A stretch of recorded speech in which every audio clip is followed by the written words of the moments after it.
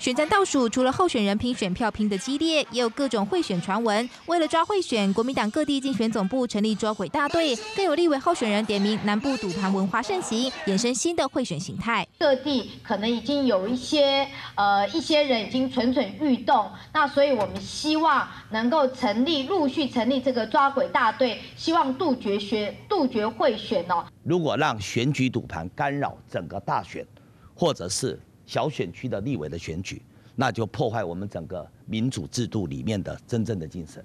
国民党大动作意有所指的喊出抓鬼抓贿选，但民进党也不甘示弱，列举蓝营过去社会候选人，点名立委和中常委来回击。国民党是不会选，不买票就不会选，啊，所以所以也没有没有必要说这一则又这个做贼喊抓贼出来又开了一个记者会反贿选。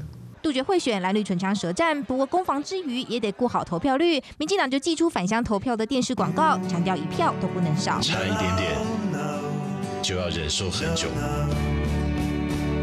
绝不能差一点点。起身出发，回家去。